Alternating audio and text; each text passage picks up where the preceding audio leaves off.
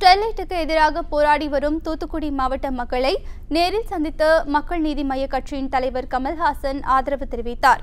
தூத்துக்குடி மாவட்டத்தில் ஸ்டெர்லைட் ஆலையை நிரந்தரமாக மூட வலியுறுத்தி குமரட்டியாபுரம் மக்கள் நாற்பத்தி ஒன்பதாவது நாளாக தொடர் போராட்டத்தில் ஈடுபட்டு வருகின்றனர்.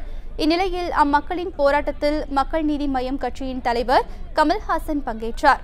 அப்போது போராடும் மக்கள் மத்தியில் பேசிய கமல் மக்களை கொன்று நடத்தும் வியாபாரத்தை தான் எதிர்க்க வந்துள்ளதாக தெரிவித்தார்.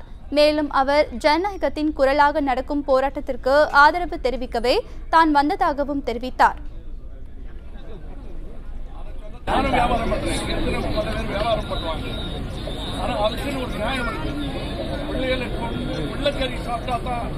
வியாபாரம் நடக்குன்னா அந்த வியாபாரம்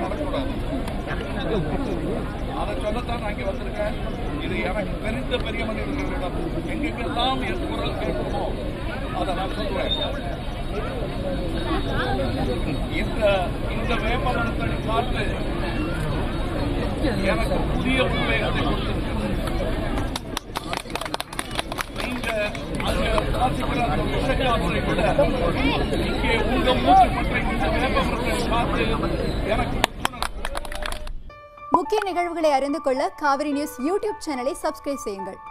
உடனுக்குடன் செய்திகளை தெரிந்து கொள்ள காவிரி நியூஸ் சமூக வலைதளங்களோடு எப்போதும் இணைந்திருங்கள்.